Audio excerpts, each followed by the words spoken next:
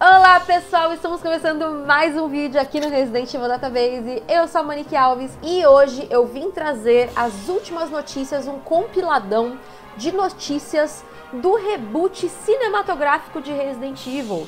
Sim, Resident Evil logo logo terá um novo filme nos cinemas aí. Esperamos que essa pandemia não nos atrapalhe de estar lá na pré-estreia com a nossa pipoquinha, cheios de esperanças para depois se decepcionar no fim. Não, brincadeira, a gente não vai se decepcionar no final se Deus quiser e Ele há de querer. Mas antes eu vou pedir para que você se inscreva aqui no canal, deixe o seu like porque me ajuda muito a também recomendar esse vídeo para outras pessoas e claro, compartilha também esse vídeo com seus amigos e o nosso canal para que a gente possa continuar crescendo aqui no YouTube. Você já conhece a Promobit? A Promobit é uma comunidade de pessoas reais que encontram e compartilham as melhores ofertas da internet. Basta colocar na lista de desejos que eles avisam assim que o produto entrar em alguma promoção. Então já baixa o app, já vai fazendo a sua listinha para Black Friday e boas compras. Galera, a internet está sendo bombardeada por imagens dos bastidores do novo filme de Resident Evil, que vai ser meio que uma história de origem. A gente já falou aqui, logo que o filme foi anunciado, as informações oficiais dele, a gente falou um pouquinho sobre o elenco também. Então, eu vou falar mais as novidades que vieram depois disso, porque muita coisa aconteceu e eu acabei não gravando vídeo antes. Mas de qualquer forma, o filme já está sendo filmado lá no Canadá, na cidade de Sudbury. Inclusive, o prefeito da cidade, ele tá todo feliz, todo pimpão. O nome dele é Brian Bigger e ele falou que está feliz em poder celebrar o retorno de filmagens e de produções de televisão, até porque Sudbury já foi usada em outras produções cinematográficas também. Eles já estão construindo vários cenários de Resident Evil. Eu estou postando várias fotos no nosso Instagram que vocês depois podem acessar aqui, ó. Já segue lá para você não perder. Inclusive, enquanto eu tô gravando esse vídeo aqui, a galera no Instagram também tá assistindo a gravação. Então depois, vocês do Instagram têm uma missão, uma tarefa de casa. Vocês vão lá nesse vídeo aqui depois colocar a hashtag eu tava no Insta, que é para eu saber quem que tava assistindo, hein? Pelas imagens que estão saindo, o filme vai ser bem mais fiel do que os filmes da Mila, até mesmo em questão de cenários.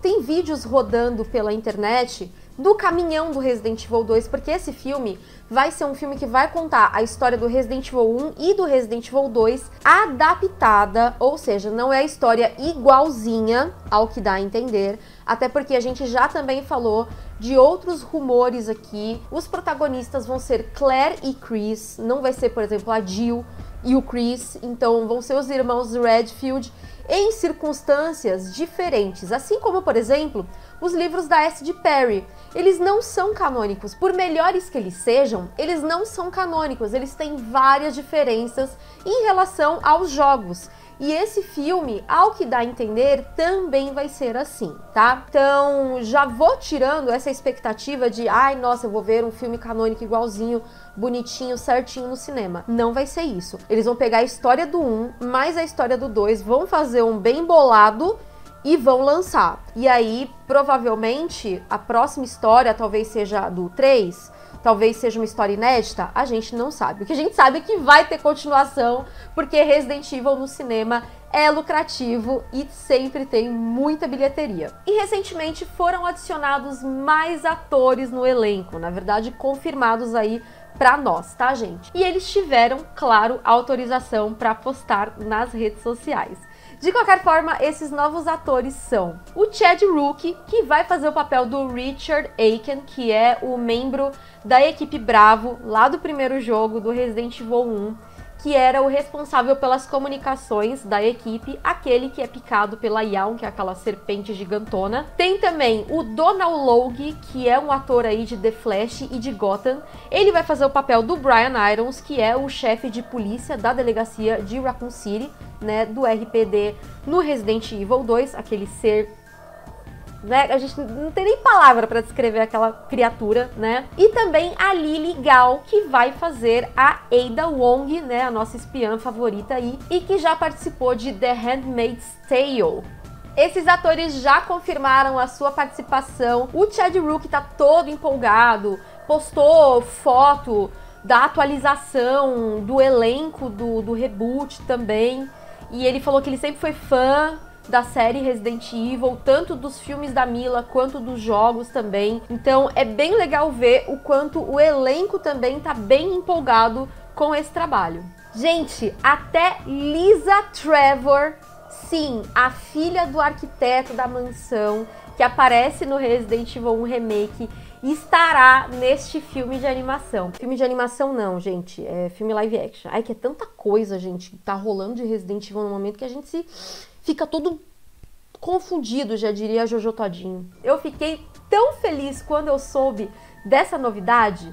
A atriz que vai fazer a Lisa, que é a Marina Mazepa, ela, além de atriz e de dançarina, ela é contorcionista também, então ela é atleta. Ela mostrou um Reels da criação da personagem. Então eles fizeram uma prótese de borracha é, em cima do rosto dela muito provavelmente para toda vez que for aparecer a Lisa Trevor, ela aparecer já vestida com essa prótese sem precisar ficar fazendo maquiagem toda vez. Até porque a Lisa, gente, ela é uma composição de vários várias faces costuradas na cara dela, porque era uma coisa que a Lisa fazia. Ela arrancava o rosto das enfermeiras mulheres, achando que era a mãe e para não perder a mãe, ela grudava o rosto delas uh, nela mesma. Então eles estão fazendo muito provavelmente essa prótese de borracha para vestir nela e talvez por ela ser contorcionista, ela, né, tem aí uma desenvoltura melhor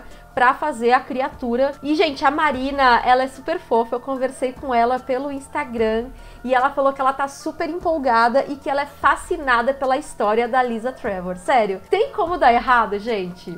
Pior que tem, né? Pior que tem como dar errado. A gente fala que não, mas sempre tem como dar errado. Ou se tem, né? Ou se tem! Oh! E como eu disse antes, gente, tem muita coisa de Resident Evil sendo desenvolvida nesse exato momento. Então não confundam esse filme reboot de Resident Evil com a série live action da Netflix, tá? Os dois produtos são da Constante em filme, tá bom? Mas um é um filme e o outro é uma série, e as histórias são completamente diferentes. A série live action da Netflix é aquela que vai ter as irmãs Jade e Billy Wesker, é, duas adolescentes em New Raccoon City, tá? Enquanto que o filme Reboot, apesar de também ser da Constante em filme, é uma adaptação do Resident Evil 1 e do Resident Evil 2, que eles vão fazer lá um sei lá o que, né? Um, um Cheroleuses, e aí eles vão unir as duas histórias para essa adaptação. Esse filme reboot tem previsão de lançamento no ano que vem que vai ser um ano bem agitado para Resident Evil, porque vai ter Resident Evil Village, pelo menos a gente acredita que vai ter. Vai ter também a série de animação da Netflix, que também é um outro produto que não tem nada a ver. A gente não sabe se a série live action da Netflix também vai começar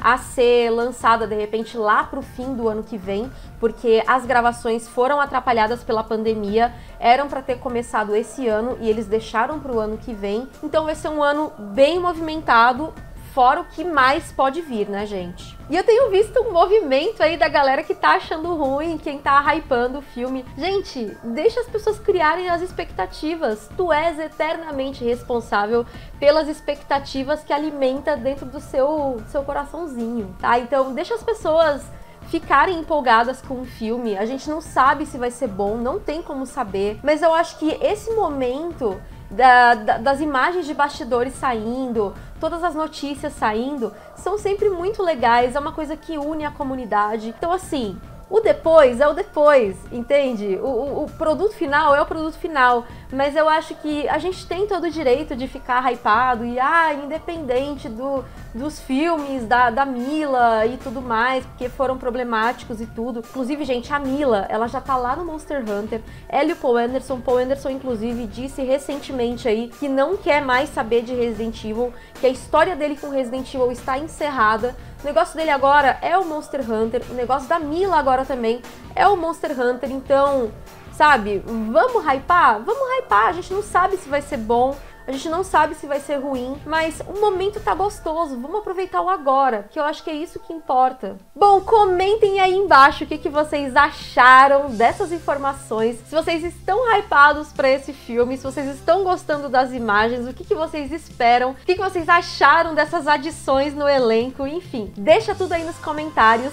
E não esquece de apoiar o nosso trabalho, seja lá no padrim.com.br barra Resident Evil Database, a partir de um real por mês no cartão de crédito, ou aqui no canal do YouTube, clicando no botãozinho Seja Membro, a partir de R$ 2,99 por mês, para você ter acesso às lives gravadas só de lore, lore run, que são aquelas, é, aqueles gameplays focados na história, tem mais de 60 horas, dá para fazer aquele Dataflix gostosíssimo. Ou você pode também ser sub lá na plataforma roxa concorrente aqui do YouTube, que o editor vai colocar lindamente o endereço aqui na tela para vocês.